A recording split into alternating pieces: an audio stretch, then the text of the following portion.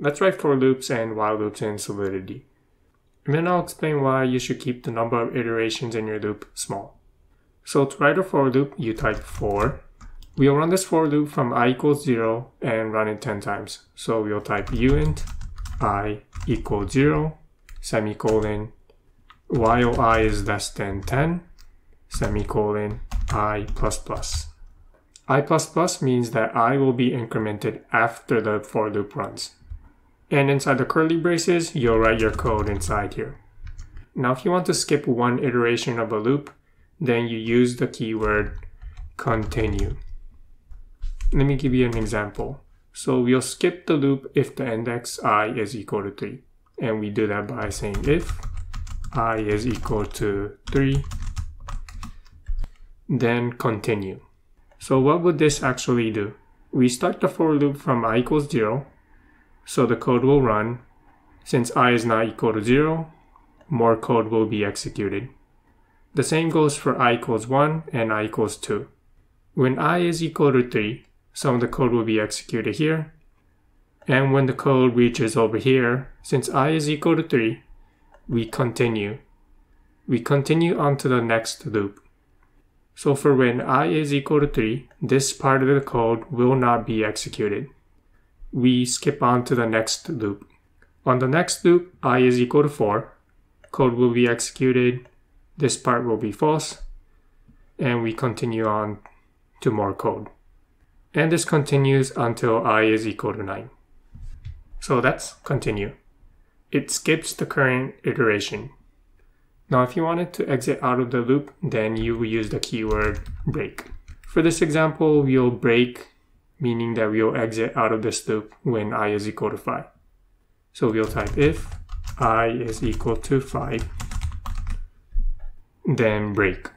So now this loop will run from i equals 0 to i equals 4. When i is equal to 5, this part of the code will be true and it will break out of the loop, meaning that we finish the loop at i is equal to 5. The loop will not run for i equals 6, 7, 8, and 9. It exits the loop when i is equal to 5. So that is break. Now let me show you an example of a while loop. The syntax is while, some kind of condition, curly braces, and you will write your code inside here. If we say that the condition is true, then this means that this while loop will run forever. Obviously, we don't want to do that, so we'll create a condition. We'll start with an index uint j equals 0, and then say while j is less than 10, execute some code, and at the end of the code, increment the index j by typing j plus plus, semicolon. That's the syntax for writing a while loop in Solidity. Let me give you a more practical example. We'll write a function that given an input n, it will sum all of the numbers from 1 to n. So I'll type function, I'll name this function sum. It's going to take in a single input, uint n, which is the number that we're going to be summing from 1 to n. It's going to be external, pure, and, and it's going to return the sum from 1 all the way up to n. So the type that we're going to be returning is uint. We'll initialize a uint that's going to be keeping track of the running sum, and at the end of the function, we will return the sum. Now using a for loop, let's now add all the numbers from 1 all the way up to n. So we'll say for uint i starting at 1 while i is less than or equal to n, i plus plus. And inside the curly braces, so inside the for loop, we'll say s, add to the current sum, i. And this loop will add all of the numbers from i equals 1 all the way up to i equals n.